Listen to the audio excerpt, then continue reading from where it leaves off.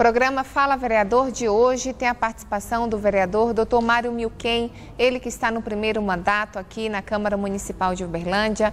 Vereador, obrigada pela sua participação.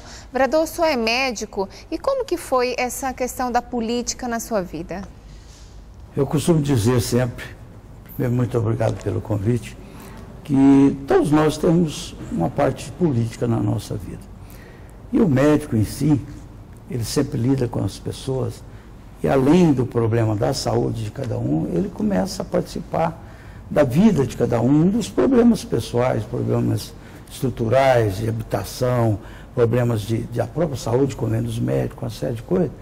E você começa a participar efetivamente nisso e passa também a enxergar o outro lado político de todo o relacionamento.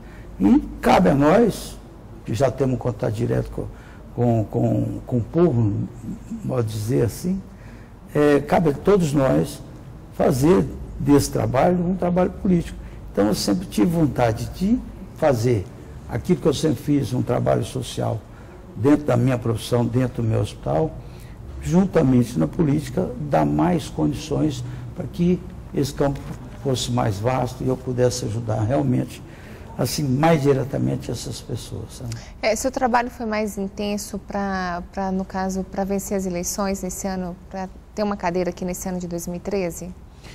Olha, eu, eu essa é a quarta vez que eu tento, é, que eu tentei é uma vaga na Câmara. Todas as vezes que eu participei na política, todas as vezes trabalhei intensamente com meus recursos próprios, é, ajudas assim de patrocinadores nunca existiu na minha vida. É, e sempre foi com meus recursos. E o trabalho sempre foi é, na área social, naquilo que eu faço, naquilo que eu gosto, na assistência médica. E sempre, todas as vezes que eu participei, que eu disputei um pleito eleitoral, eu fiquei como um suplente. Né? E dessa vez suplente, mas mais abrangente, tive a grata satisfação de, de, assumir um cargo aqui. Vereador, e também o senhor como médico, é quando o senhor, desde quando o senhor tentou é, uma vaga aqui na Câmara Municipal, o senhor sempre quis representar a classe médica ou não? É, as, as pessoas colocam isso aí como se fosse realmente um fato, não é. O grande fato mesmo é o trabalho que eu gosto de fazer, que é um trabalho mais assistencialista, sempre de estar participando, estar ajudando as pessoas. E, logicamente, por você ser médico e você exercer sua profissão há mais de 36 anos relacionando com, com a classe médica, com os colegas, com os hospitais, você passa a ter também uma certa influência naquilo que diz respeito às necessidades da classe. Então a gente representa muito bem e, se Deus quiser, sempre trabalhando em prol dos médicos, mas lembrando que por trás disso existe um povo que realmente precisa dessa ajuda. Agora, vereador, é... o senhor disse que veio para fazer uma política diferente. Que política é essa? Não é que é uma política diferente. É uma política que eu sempre quis fazer, que eu sempre fiz no meu trabalho. É uma política que eu conheço, uma política de abraço, de aceitação, de respeito às pessoas, de entendimento, de confiança, de flexibilidade em várias situações. E realmente é muito difícil hoje você fazer esse trabalho político sabendo que no meio totalmente, é totalmente diferente daquilo que você sempre pregoou. Mas a gente tem levado é, com certa responsabilidade esse entendimento, porque muitas, muitas vezes você vê a unilateralidade naquilo que é na hora de decidir. E eu gosto de falar sempre em nome de, de, de, do povo. Na verdade, o povo que todos os políticos mencionam é o povo que eu gosto, é o povo que eu respeito. Então a palavra povo, para mim, tem muita representatividade. Então não adianta fazer política com boas palavras discursos na hora que a televisão está tá mostrando. Você tem que fazer a política na hora dos seus atos, nas suas ações. E eu aprendi isso na minha vida, na minha vida trabalhando como médico. Então, o respeito ao paciente é fundamental. Então, esse paciente, para mim, também é o povo. Então, eu trago para cá, para a política, aquilo que eu sempre fiz de bom na minha vida, que é respeitar o cidadão. É, vereador, quais são os meios que o senhor encontra aqui no Poder Legislativo para fazer essa política assistencialista? Eu falo assistencialista quando você passa para o ponto de realmente fazer o trabalho social. Não, nós temos vários aspectos para ser discutido. E nós temos 27 vereadores. Nós temos que fazer um entendimento com os pares da casa, relacionando muito bem com os pares da casa. E hoje, se você fizer um levantamento, é, eu acho que eu sou uma pessoa bem querida aqui no meio dos colegas vereadores. Então, dentro daquilo que eu vejo que tem necessidade e tem complexidade, eu posso fazer um trabalho pessoal assim, corpo a corpo, com cada um desses vereadores, porque, em primeiro lugar, eles me respeitam pela profissão que eu sempre tive, pelo fato de eu ser um médico e ter um conceito como médico. Segundo, eles me respeitam pela própria idade. Eu me considero, sou considerado coroa aqui do, do, do Legislativo, o mais velho. E, ao mesmo tempo, a gente sabe conversar, sabe mostrar, objetivar, fazer o parecer daquilo que nós queremos, levar o entendimento do povo para os colegas vereadores. Então, é fácil de fazer uma política igual eu faço, porque é, é política de entendimento, é de aceitação, de compreensão. E se eu falar com você alguma coisa, eu quero que você olhe nos meus olhos como eu olho. Porque eu quero ver de você a confiança daquilo tudo que eu estou falando. E você passa a ser uma pessoa muito importante na minha vida. Agora, vereador, é, como é que é esse trabalho seu no gabinete com a população? Bom, dentro daquilo que nós temos assim de, de, de, de receptividade, é muito boa. Eu tenho uma equipe de assessores que é ligado pessoas experientes da política que já trabalharam como assessores, pessoas administradores de empresas, vários, dois ou três administradores de empresas, pessoas de, de, de, idade de 40, 50, 55 anos, 60 anos, pessoas que já têm uma vivência de contato com, as, com a população. Então, gente que, que faz o trabalho que eu quero fazer. E as pessoas que nos procuram no nosso gabinete encontram ali sim um entendimento, um atendimento, principalmente na área da saúde, com respeito. Ninguém deixa de ser atendido e, logicamente, nós temos uma palavra só lá dentro. Chama obediência e falou, faz. Não falou, não faz. É, é, é, vereador, o senhor focou até mesmo dentro da sua, da sua equipe de, de, assessores essa questão de, dessa idade mais avançada, 40, 50, 60 anos. E o senhor também, parece que o senhor tem uma, uma, uma, uma ideia focada né, um atendimento especial para os idosos. Isso foi é, materializado na questão do, de um pedido de indicação ao prefeito de que uma das UPAs seja destinada para os idosos. Né? Por que, que o senhor fez esse pedido? Bom, exatamente isso. Primeiro, nós já falamos sobre uma classe médica. Eu tenho 65 anos, lido, já lidei a vida inteira, desde criancinha recém-nascida até idosos, e sei o problema fundamental da saúde de cada um. É, nós, nesse praticamente há um ano, primeiro ano de mandato, por ser inexperiente ou não como legislador, mas nós temos o conhecimento médico, nós sabemos das grandes necessidades.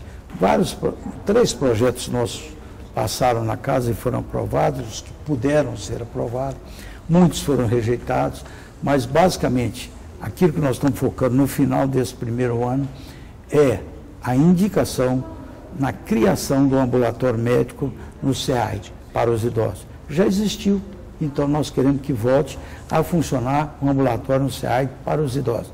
Nós queremos cuidar dos idosos lá no SEAI. Nós temos diversões, nós temos de tudo para eles, é, preparo físico, piscina, mas nós precisamos de um médico, um ambulatório médico, para acompanhar os seus problemas pessoais de saúde de cada um. E também fizemos uma outra indicação ao executivo que é na formação, na criação das UPAs que já começaram, que uma delas fosse referência ao idoso. É importante isso, porque o idoso, é, muita gente fala do idoso, fala em, em estacionamento para idoso, fala em, em deixar um, a vaga no ônibus para o idoso, nem sempre acontece, estacionamento que nem sempre acontece. Muita gente fala idoso muito bonitinho tudo, mas na prática logicamente as coisas não estão acontecendo. Então, o nosso idoso hoje tem que ser cuidado.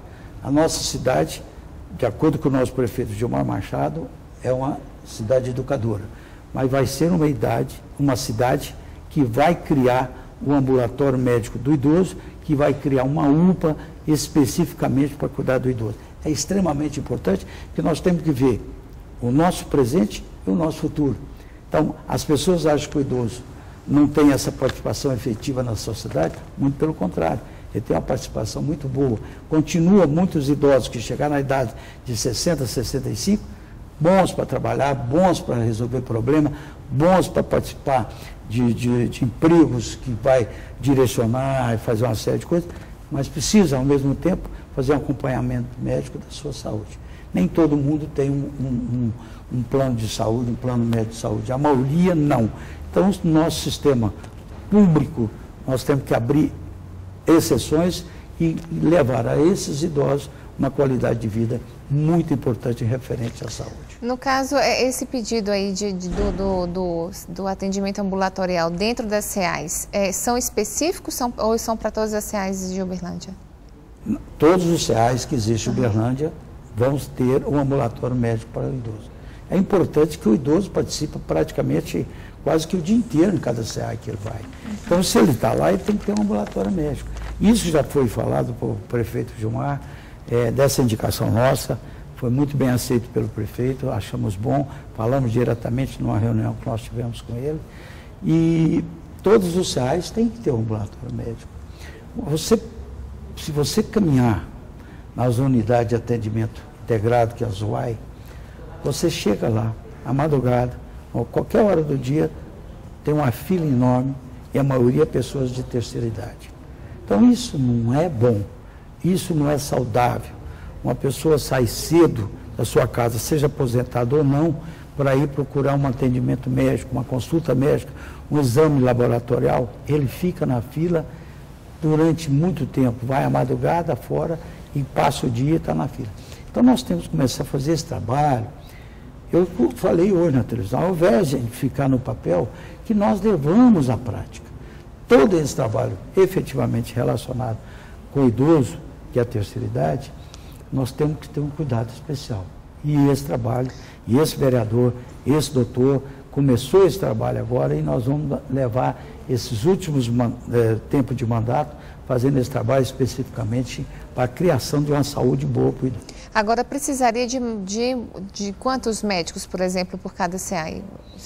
Não, aí no caso nós teríamos que pegar a Secretaria de Saúde junto com o secretário Almir, o prefeito, o vice-secretário, que é o Tião Elias, nós fazemos o estudo. O ambulatório vai comportar um ou dois médicos todo dia, de dois, dois dias, como é que vai ser? Então é um trabalho que nós temos que levar que até o secretário fazer um planejamento. Uhum. Tem médicos? Tem. Nós temos que levar geriátrica para lá, nós temos que levar é, enfermeiras para cuidar dos médicos. Então, nós temos que começar com esse trabalho, primeiro valorizando a, a, a classe do idoso.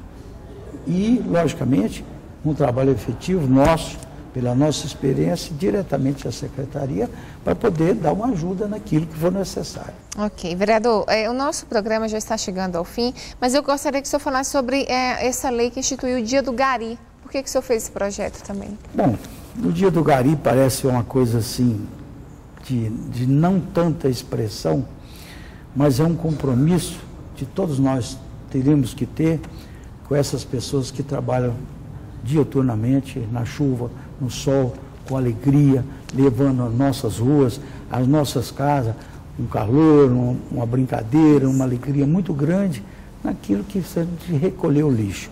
Existe no Brasil já o dia é, institucionalizado o dia do gari, mas no município não existia ainda. Então nós fizemos esse projeto para instituir no município o dia 16 de maio, que é o dia do gari. É extremamente importante que nós viemos apenas abraçar e saudar festejar. essas pessoas que trabalham. E nós vamos festejar. No dia 16 de maio, pode preparar. Nós estamos preparando uma festa para o dia 16 de maio, que é o Dia Municipal do, do Gari. Uhum. Nós estamos preparando uma festa para eles e vamos contar com toda a equipe de vereadores, assessores, o executivo e as pessoas que realmente, o próprio empresário da cidade, e vão nos ajudar nesse trabalho. E são pessoas que, é, que elas, elas geram qualidade de vida para toda a sociedade, né, vereador? Mas você imagina se você na sua casa vai mexer num lixo na sua casa, num resto, você tem um certo cuidado, uma série de coisas. Imagina esse povo que mexe com todo tipo de lixo. Esse pessoal tem que ter realmente um respeito, tem que ser saudado todos os dias. Okay. Então, a maioria das vezes, quando eles passam na rua, você vê muitas pessoas saudando, levando comida, mantimento, calor para eles. E esse trabalho desse vereador, da nossa equipe, vai ser efetivado sempre no dia 16 de maio. Ok, obrigada, vereador, pela sua participação. Um abraço, muito obrigado. Esse é o Fala Vereador de hoje.